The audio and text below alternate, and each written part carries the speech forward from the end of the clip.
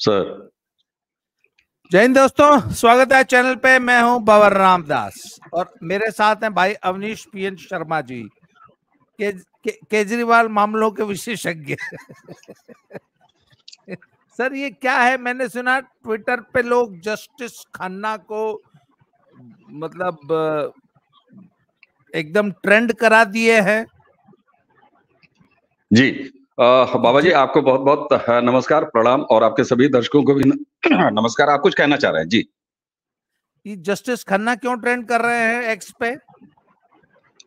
जी sir आ, ये कितनी अच्छी बात है कि इस देश में न्यायपालिका की इज़्ज़त कितनी बढ़ी है कि उसके एक मिलाट जो है इस समय जन मीडिया मंच ट्विटर क्या है सर? पब्लिक का मंच है पब्लिक की मीडिया है। वो ना कोई स्थापित मीडिया है, ना कोई मैनेज्ड मीडिया है। वहाँ पर ट्रेंड कर रहे हैं। ये लोगों की मोहब्बत। लेकिन ट्रेंड क्यों कर रहे हैं? जस्टिस खन्ना ही वो न्यायाधीश हैं, जिन्होंने अरविंद केजरीवाल को तिहाड़ से बाहर निकाला। सर, इससे पहले कि मैं ये बात शुरू करूँ, मुझे हँसी आती है इस देश की स्थापित मीडिया पर कि उनके न्यूज़ रूमों में टैलेंट की क्या स्तर हो गया है? अरविंद केजरीवाल जिस दिन से तिहाड़ से निकले हैं, जस्टिस खन्ना के ऑर्डर के बाद, ये कहा जा रहा है कि साहब उनको इंटरिम बेल मिली है, यानी अंतरिम जमानत मिली है। चाहे मीडिया हो, चाहे लिखने वाले हो, चाहे बोलने वाले हो, चाहे इकोसिस्टम हो सब के सब ये कह रहे हैं कि साहब इंटरिम बेल मिली है। सर टेक्निकली यह बहुत बड़ा झूठ बोला जा रहा है। मीडिया द्वारा और उसको लेके सारे लोग उड़ रहे हैं कि अरविंद केजरीवाल को किसी तरह की कोई बेल मिली है। सर रेगुलर और इंटरिम ये दोनों तरह की बेल तभी दी जा सकती है जब उसमें जो भी बेल मांग रहा है, वो कोई एप्लीकेशन मूव करे। क्या अरविंद केजरीवाल ने अपनी बेल रेगुलर बेल या इंटरिम बेल के लिए कोई एप्लीकेशन अपने वकील के ज़रिए, सिंघवी के ज़रिए मूव कराया? नहीं कराया। उनका एक ही रिट है जिस पर मुकदमा लड़ रहे हैं सिंघवी और उस पर उन्होंने ईडी के उस पूरे शराब घोटाले वाला जो केस है उसको रद्द करने की रिट है सर। केजरीवाल ने कोई जमानत मांगी ही नहीं कभी ना रेगुलर मांगी और ना एंट्री मांगी। दूसरा चीज़ सर इस देश के न्यायिक इतिहास का एक सच और है। मैं रुक रहा हूँ मैं रुक रहा हूँ सर। इस देश का न्यायिक सच टेक्निकल चीज़ है मैं उसको बता दूँ जरा कि स्वतः संज्ञान लेकर कभी भी कोई बेल नहीं दी जा सकती। हाँ पेरोल दिया जा सकता है। स्वतः संज्ञान अगर न्यायाधीश लें कि हाँ इस विचाराधीन कैदी के साथ ये दिक्कत है, इसकी माँ की, माँ का देहांत हो गया, इसका फलाने हो गया, इसका ढिकाने हो गया है, और अगर मान लीजिए वो इस कंडीशन में ना हो कि वो बेल एप्लीकेशन मूव कर पाए तो स्वतः संज्ञान लेके स्पेशल कंडीशन में पेरोल दिया जा सकता है। तो अरविंद केजरीवाल पेरोल पर रिहा हुए हैं दो दिन तक के लिए। कोई इंटरिम बेल या रेगुलर बेल उनको नहीं मिली है। जी आप कुछ कह रहे वो तो शुरू से डे वन से वो इस बात से कोर्ट में लड़ रहे हैं कि उसने पूछा आपने बेल अप्लाई क्यों नहीं किया? बोला सर हमारी गिरफ्तारी ही अवैध है। तो वो अपनी गिरफ्तारी की वैधता पे लड़ रहे हैं। बोले हमारी गिरफ्तारी वैध है इसलिए हमको छोड़ा जाए। न कि हम सर जी। बिल्कुल सर बिल्कुल।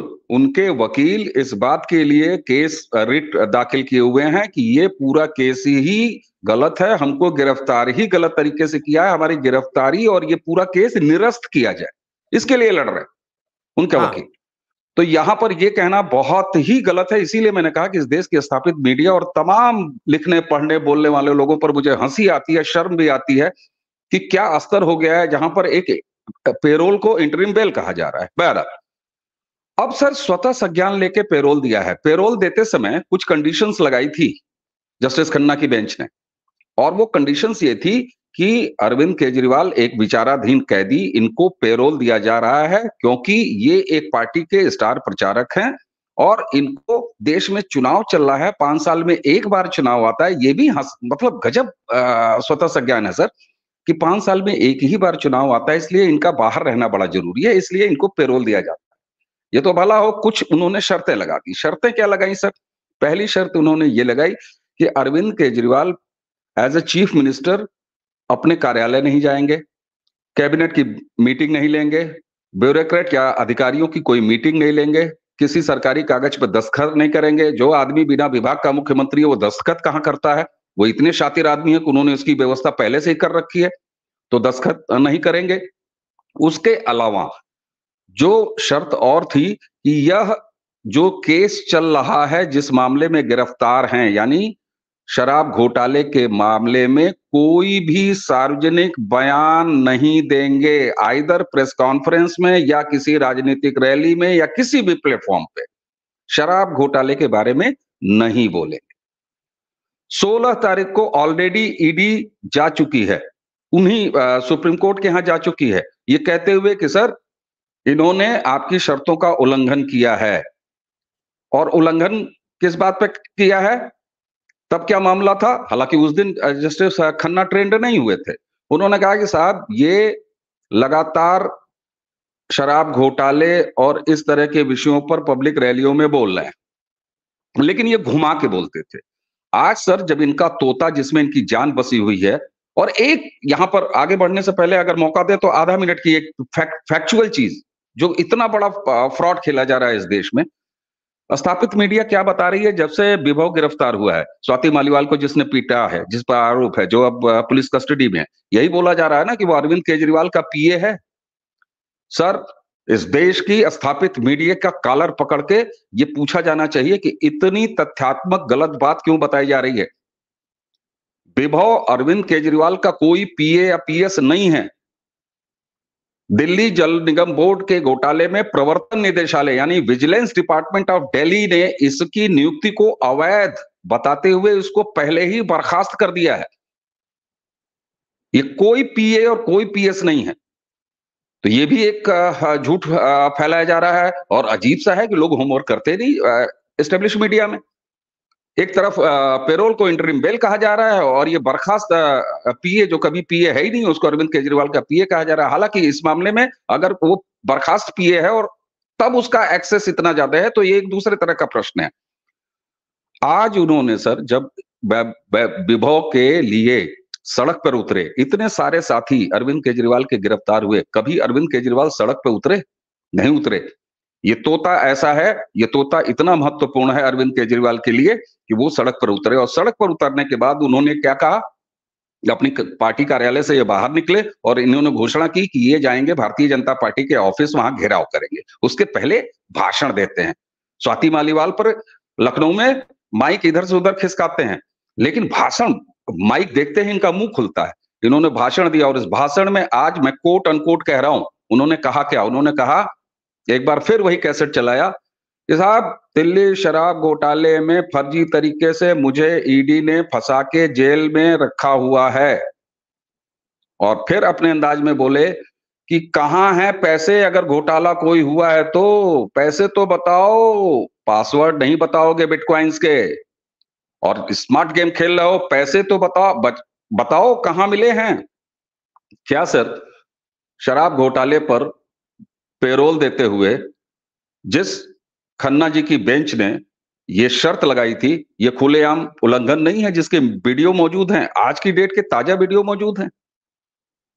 इसीलिए ट्विटर पर इस देश के मिलाट सबसे बड़ी न्याय के मंदिर के वो जो अपने आप को भगवान से भी ऊपर समझते हैं, वो ट्रेंड हो रहे हैं। किसी यश के लिए नहीं, अपयश के लिए ट्रेंड हो रहे हैं। अब कहाँ है उनका स्वतः संज्ञान सर? क्या मिलाड की यह ज़िम्मेदारी नहीं बनती इस देश के 140 करोड़ लोगों के प्रति? कि जिस एक विचाराधीन कैदी को उन्होंने छोड़ दिया है पेरोल पर स्वतः संज्ञान लेके, न जाने किस, किन वजहों से, अगर वो उन्हीं की लगाई शर्तों का उल्लंघन करता है तो कब लेंगे स्वतः संज्ञान में जस्टिस साहब? मुझे एक बात बताइए, आज के भाषण में उसने एक बात फिर दोहराई है।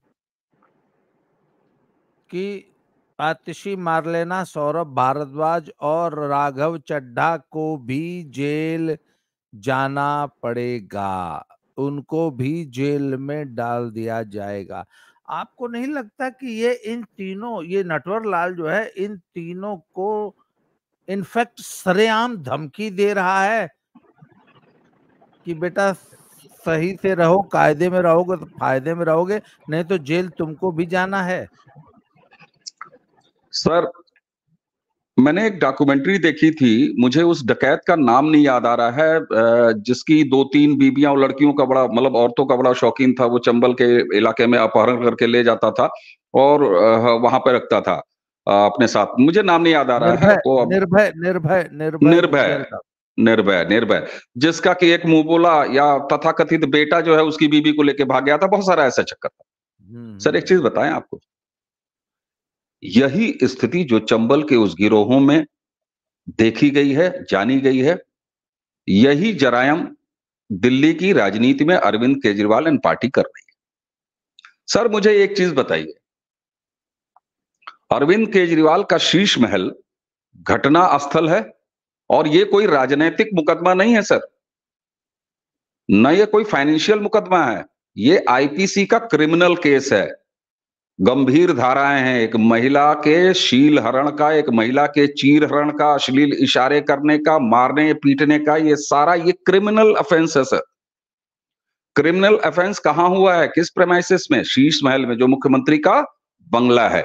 और ये बताया जा रहा है, स्वाति मालीवाल ने भी ये कहा है, ये तो वेयर अबाउट से पता लग जाएगा, जो ऑफिशियल वेयर अबाउट होगा अरविंद केजरीवाल का, कि अरविंद केजरीवाल अपनी पत्नी सुनीता के साथ उस समय उसी शीश महल में मौजूद थे। आखिर तभी तो मिलने गई थी। जो ये कहा जा रहा है कि साहब वहाँ वेट कराया जा रहा था कि थोड़ा सा वेट कर लीजिए और ये वेट नहीं किया, जो भी उन्होंने कहा। सर, ये बताइए गृह स्वामी और स्वामिनी के घर में मौजूद रहते उसके एक निवर्तमान बर्खास्त पीए, जो कि कोई ऑफिशियल कैपेसिटी नहीं रखता है विभव कुमार।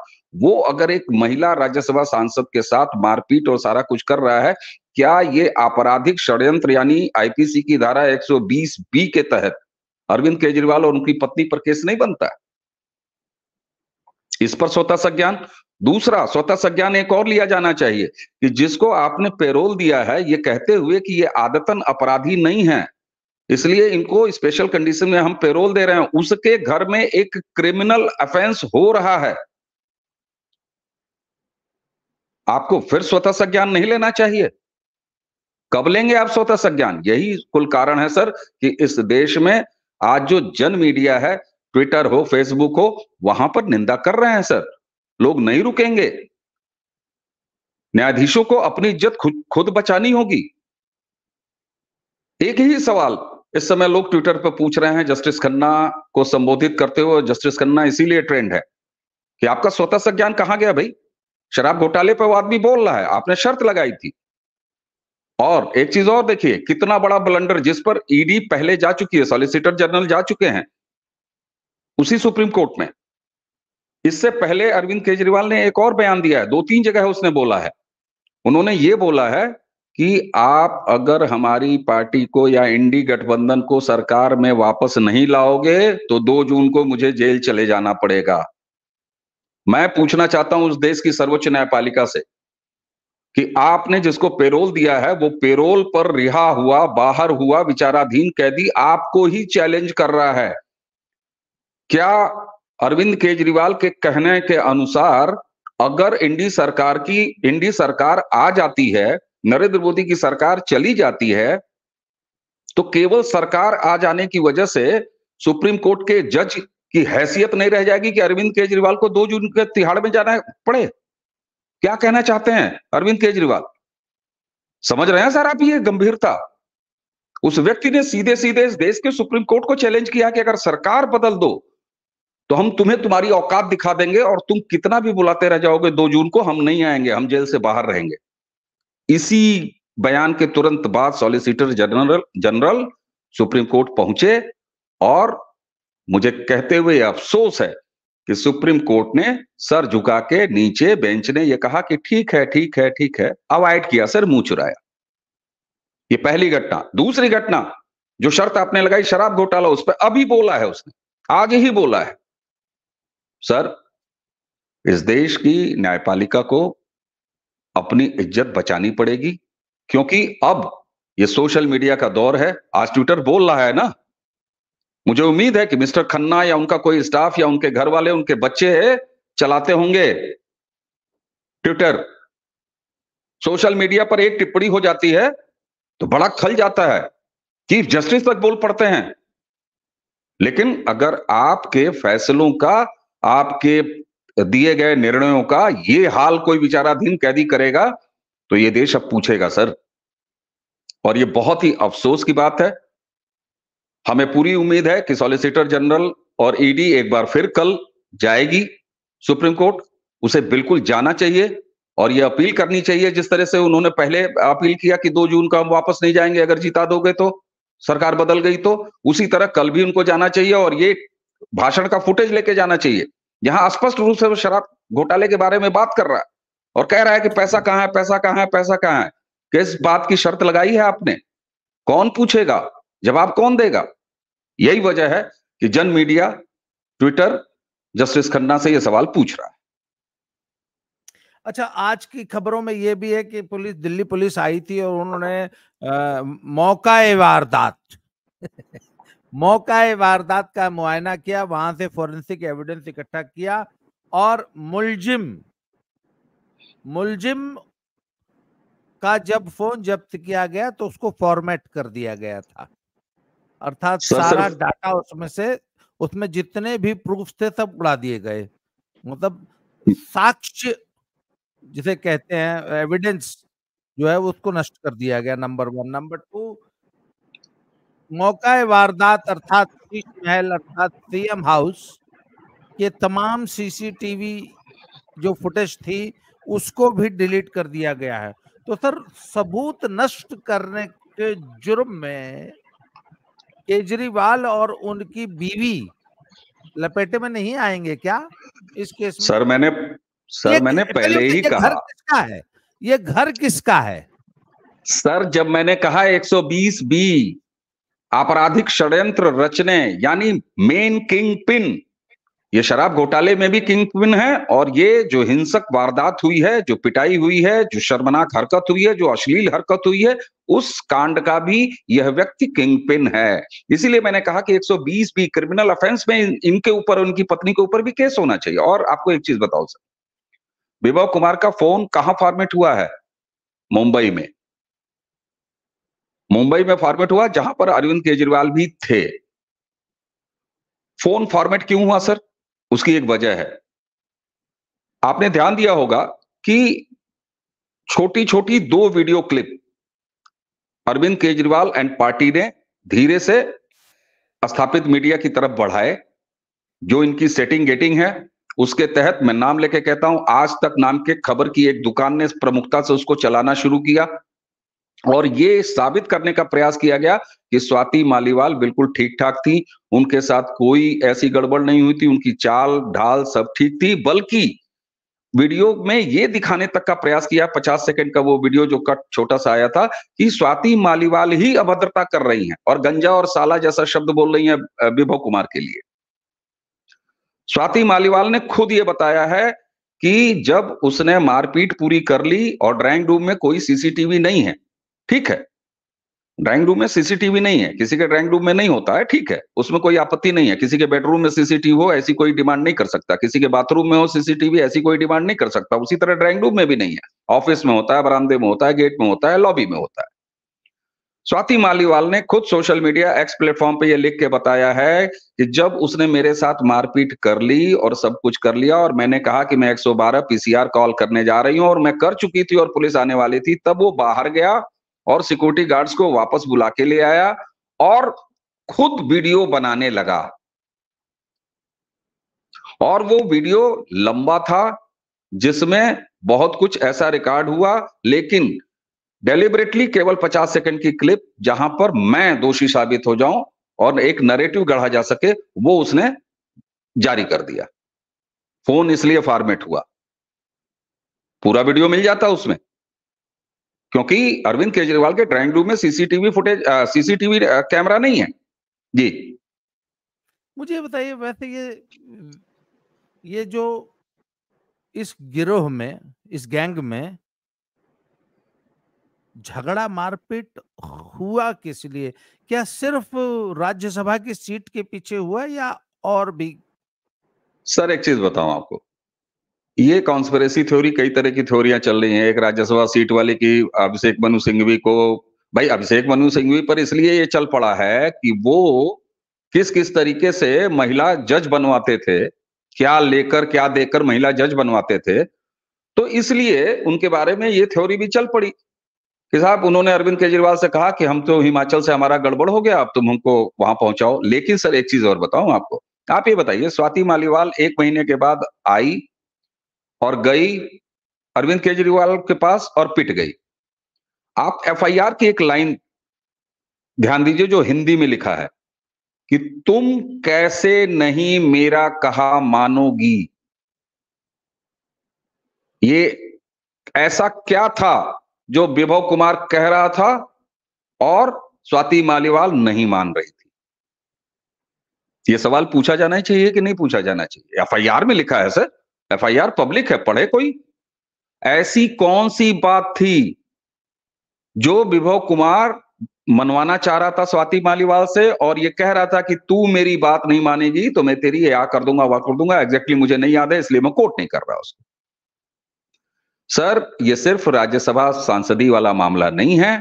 चूँकि हमारे पास कोई ऐसा आधार नहीं है तो हम थ्योरी ही बता रहे हैं। एक डॉट्स को जोड़िए, सर।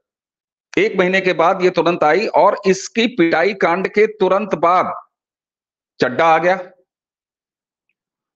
चड्डा के बारे में सब जानते हैं कि ये मैनेज करता है सारे पैसे। एक थ्योरी ये है कि सारा पैसा अरविंद केजरीवाल ने बिटकॉइन में लगा रखा है, बिटकॉइन के रूप में रखा हुआ है, इसलिए फ़ोन के पासवर्ड्स नहीं बताया जा रहा है। और सर, जिस तरीके से आज अरविंद केजरीवाल ने कहा कि पैसा कहाँ है ये बार बार कहता है ये व्यक्ति कि अगर शराब घोटाला हुआ है, उसमें पैसे खाए हैं तो पैसा कहाँ है? इस व्यक्ति को अपने शातिर पने पर, अपने गिरोह के शातिर पने पर इतना भरोसा है कि बिटकॉइन तो तुम नहीं निकाल पाओगे, पैसा एक नहीं निकाल पाओगे। लेकिन मनी ट्रेल तो मिलती है, सर। बिटकॉइन बिटकॉइन लगा के तो बिट नहीं क्रिएट होता ना, सर। मनी का ट्रांजेक्शन होता है, तब ना वो कन्वर्ट होता है, सर।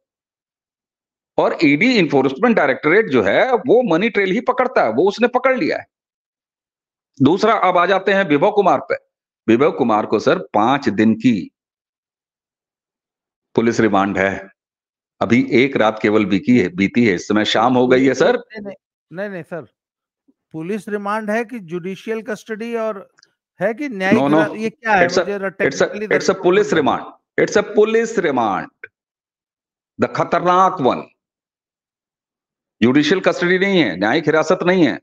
न्यायिक हिरासत में क्या होता है उसको जेल भेज दिया जाता है। और पुलिस वहीं जाके पूछताछ करती है। यहाँ पर वो विभव कुमार संबंधित थाने के लॉकअप में है। पाँच दिन के लिए कल रात में कोर्ट ने उसको लॉकअप में रखने का आदेश दिया है यानी जो इसको जो है आ, आ, वो पुलिस रिमांड मिली है। अभी एक रात बीती है सर। और एक रात का परिणाम देख लीजिए क्या हुआ है। आज पुलिस गई है, सीडीआर जब्त करके ले आई है। सीडीआर जब्त करने के बाद आपको मालूम है कि साइबर एक्सपर्ट जो है उसको बाकायदे सील किया है दिल्ली पुलिस ने, भेज दिया है लैब में, वहाँ रिकवरी हो जाती है अगर जो कुछ भी मिटाया गया होगा। संभवतः वो रिकवरी हो जाएगी। और सर, महिलाओं से जो जो धाराएँ लगी हैं शील हरण, चीर हरण और उसके बाद जो है वो अश्लील कमेंट और इसमें ये ऐसा मामला होता है सर कि महिला का बयान और कोई एक साक्ष्य एक बात अगर मैच कर गई तो सजा के लिए पर्याप्त होती है। यहाँ पर क्या क्या ऑलरेडी मैच हो चुकी है।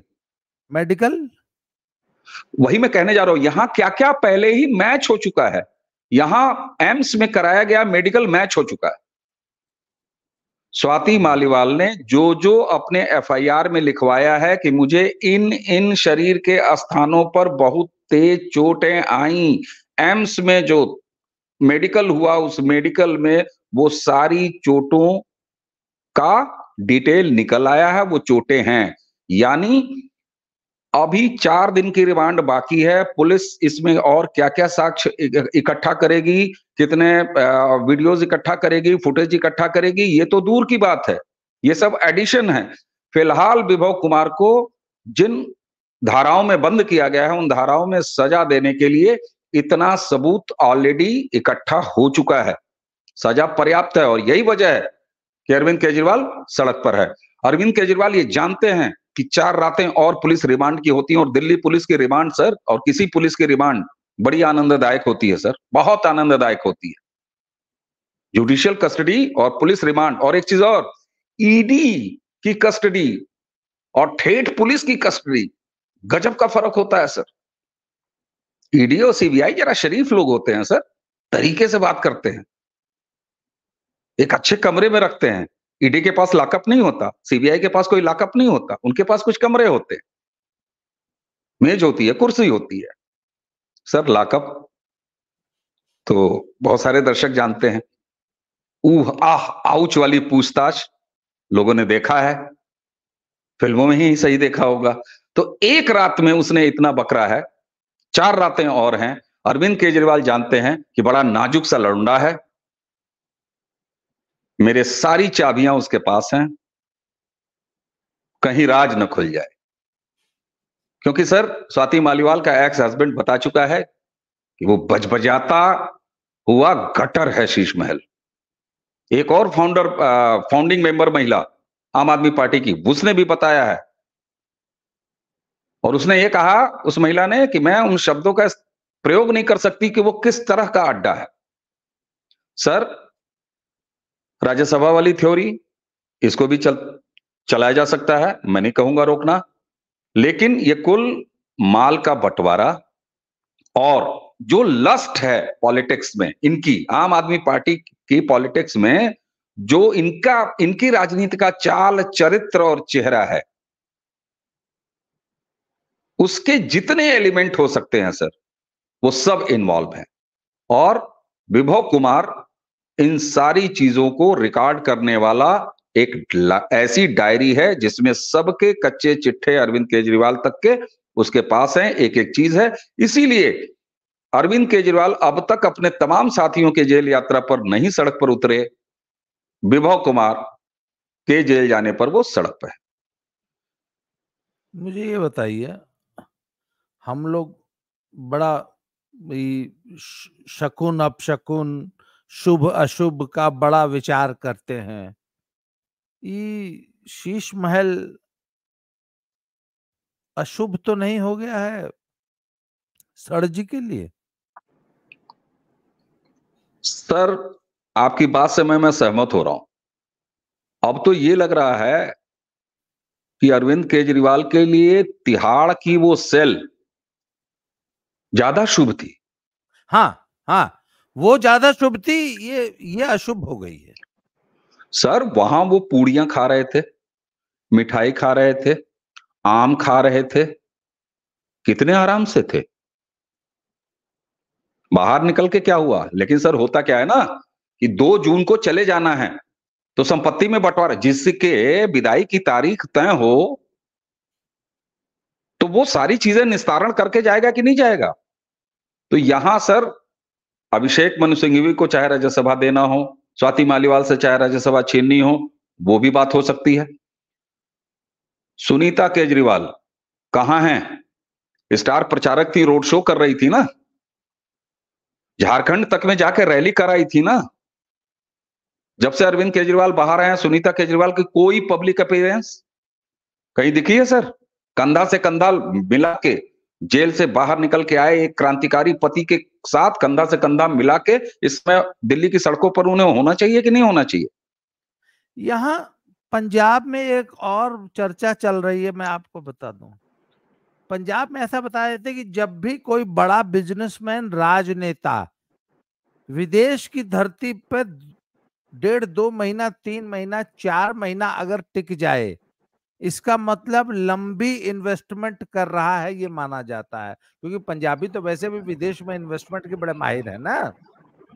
यहाँ तो बच्चा बच्चा विदेश में है और इन्वेस्टमेंट है। सर, एक और पंजाब के मुख्यमंत्री हुए जो थोड़े ही दिन के लिए हुए थे, पर उसी में इतना पैसा मैंने सुना है, बना लिए थे, माइनिंग, वाइनिंग से इधर से उधर से, कि वो बताते हैं कि हज़ार बारह सौ करोड़ रुपया जो है, विदेश में खपा के आए थे तो वो भी चार महीना बाहर रहे थे।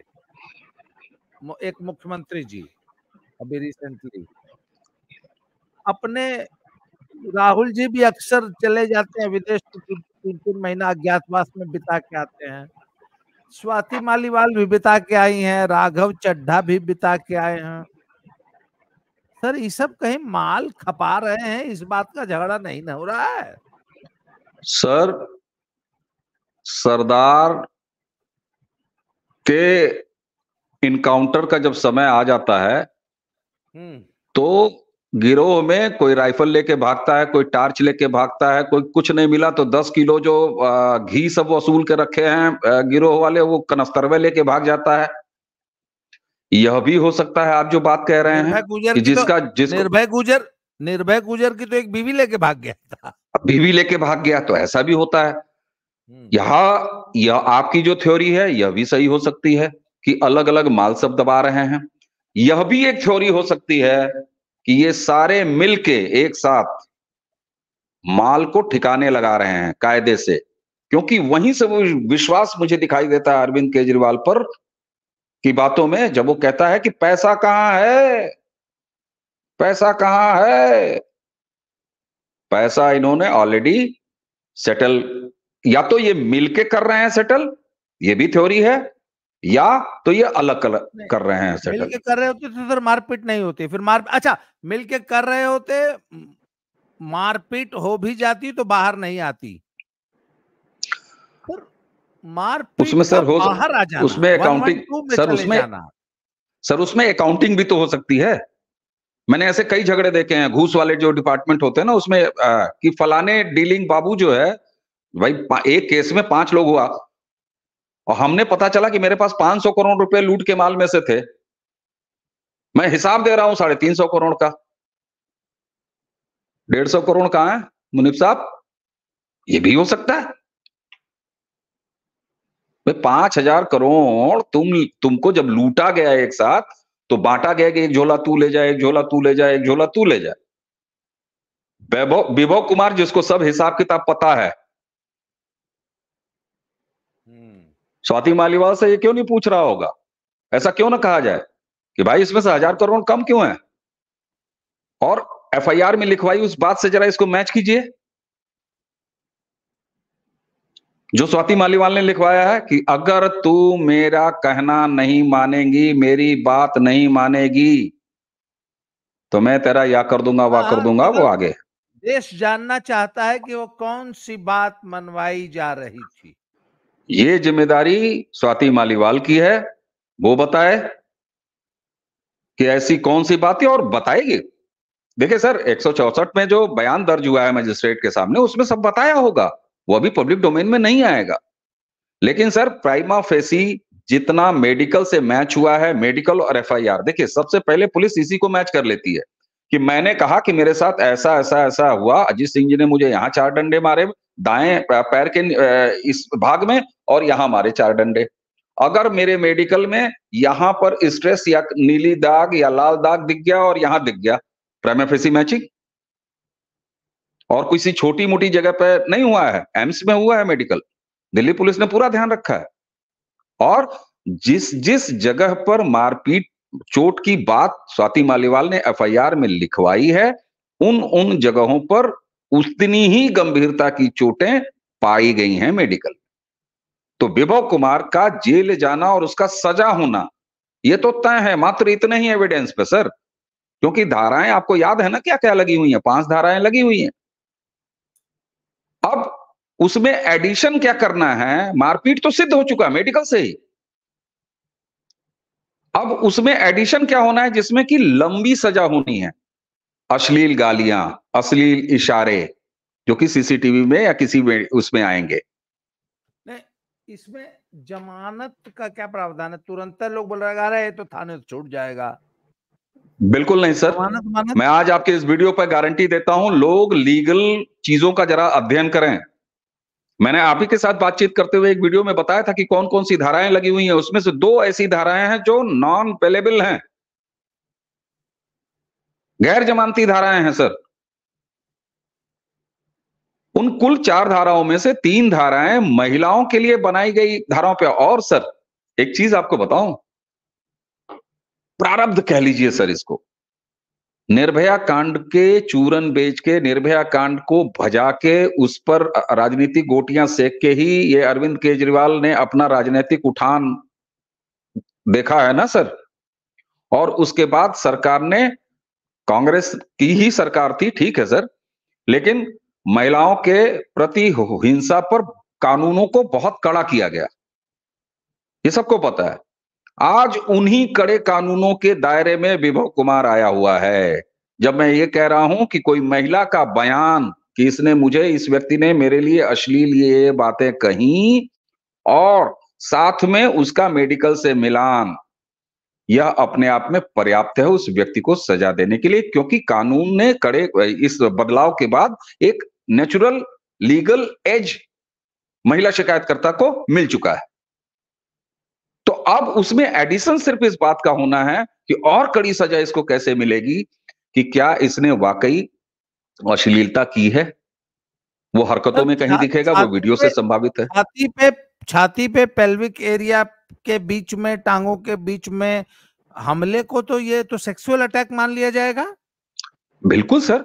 मैं इसीलिए कह रहा हूँ कि इसको जमानत नहीं मिल सकती नहीं मिल सकती नहीं मिल सकती।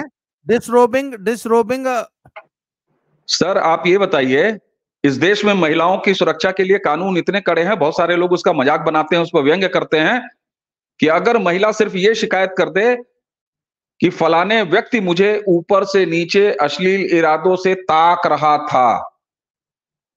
अरेस्ट हो जाएगी सर इसलिए मैं कह रहा हूँ, इस बात की गंभीरता समझें लोग, और इस बात की गंभीरता लोग भले ना समझ रहे हो, अरविंद केजरीवाल और उनका गिरोह बहुत अच्छे से समझ रहा है, इसीलिए अरविंद केजरीवाल आज सड़क पर नाच रहे हैं। अपने विभव के लिए। सर इंतरिम बेल पैरोल या जो भी कुछ कह लीजिए उसके उल, उसकी शर्तों के उल्लंघन के आरोप में क्या कोर्ट इनको तुरंत वापस जेल वापस लौटने का आदेश पारित कर सकती है क्या स्वतः संज्ञान लेकर? सर स्वतः संज्ञान तो लेना चाहिए लेकिन इस व्यक्ति ने पहले ही मैंने कहा कि 16 तारीख को ऑलरेडी सॉलिसिटर जनरल और ईडी जा चुके हैं कोर्ट। ये कहते हुए कि देखिए ये आदमी जो है इस तरह की बातें कर रहा है उन्होंने कहा कि नहीं नहीं ठीक है। मैंने शुरू में ही कहा कि मुझे पूरी उम्मीद है कि आज इस व्यक्ति ने शराब घोटाले को लेकर जो बयान दिया है, जो शर्तों का उल्लंघन किया है अपनी पेरोल के, उसके खिलाफ सुप्रीम कोर्ट में कल ही ईडी को जाना चाहिए, सॉलिसिटर को जाना चाहिए। मुझे उम्मीद है कि ऐसा होगा। और उससे भी बड़ी बात यह है कि सुप्रीम कोर्ट को खुद स्वतः संज्ञान लेना चाहिए कि मेरी लगाई गई शर्तों पर यह पेरोलिया उसका उल्लंघन कर रहा है। अगर स्वतः संज्ञान नहीं लेती है सुप्रीम कोर्ट तो यह दुर्भाग्यपूर्ण है।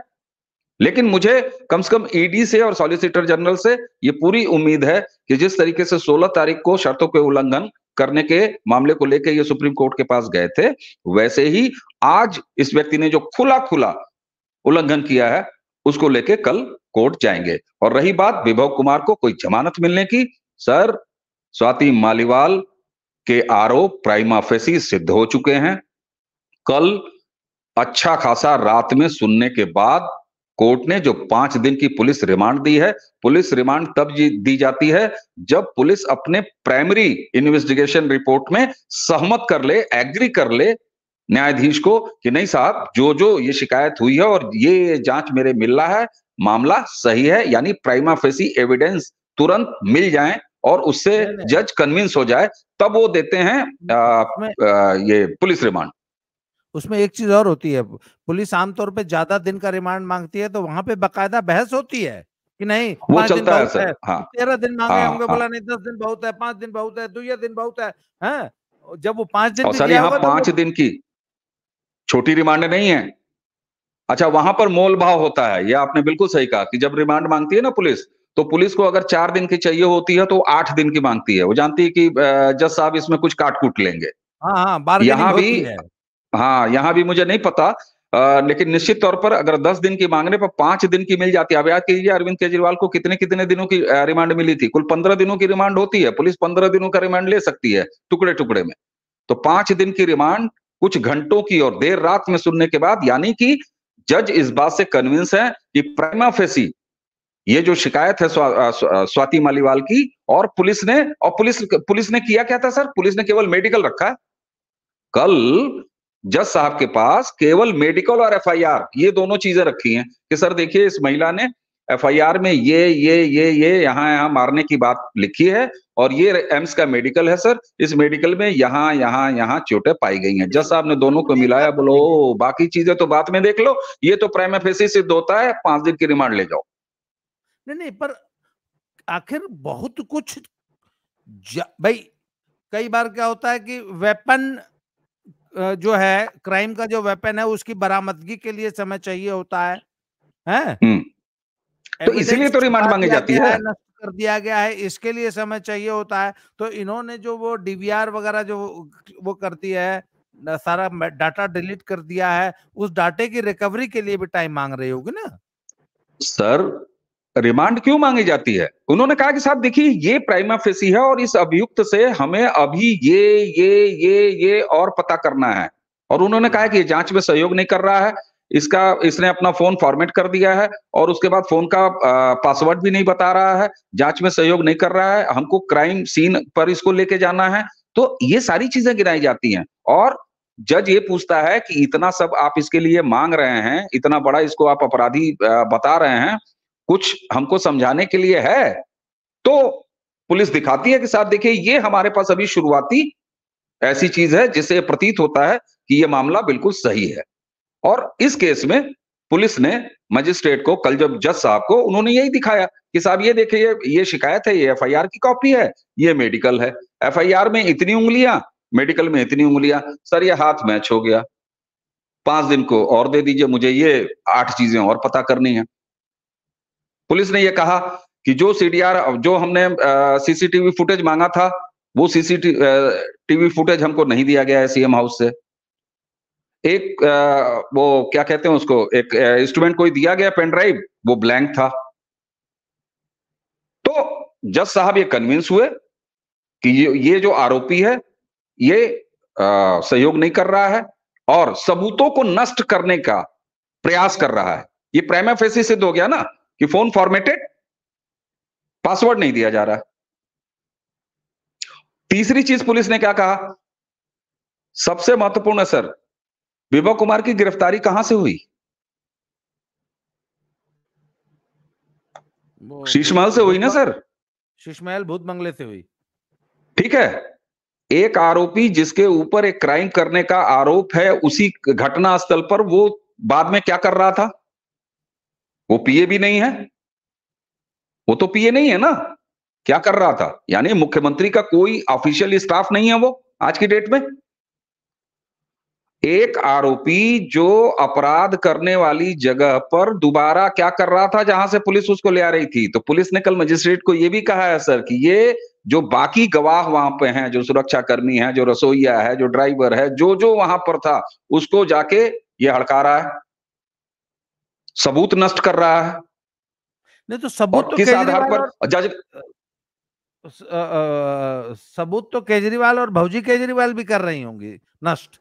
सर मैंने इसीलिए शुरुआत में मैं बार बार रिपीट कर रहा हूँ आपराधिक षड्यंत्र एक सौ बीस भी और आज नहीं कल मुझे पूरा यकीन है कि जब जाँच आगे बढ़ेगी दायरा आगे बढ़ेगा तो ये केस सर इन दो इस केस में भी पार्टी बनेंगे अरविंद केजरीवाल और उनकी पत्नी। सर मज़ा नहीं आया। चौवन करोड़ रुपए आप लोग लगवा दिए शीश महल में तब मज़ा नहीं आया सर। अब सर बड़ा सर अब शकुनी जगह है सर खाली करवाइए। सर खाली करवाइए वहाँ पूजा उजा करवाइए जगह सूट नहीं कर रहा आपको आपको अलर्ट करा दिया जाना चाहिए। मुझे लगता है कि आपके दर्शकों को आपके. नहीं नीली वैगनार नीली वैगनार और दुई कमरा का मकान ही उसको सूट करेगा सर उसको शीश महल सूट और बड़ी गाड़ी नहीं सूट कर रही है। आप लोग समझिए बात को। आपने समय दिया सर बहुत बहुत धन्यवाद। हम लोग 20 मिनट सोच के बैठे थे thank you sir thank you sir thank you फिर टॉपिक बहुत लंबा है सर। अगले वीडियो में फिर बतिया जाएगा। सर बहुत बहुत धन्यवाद sir. Thank you very much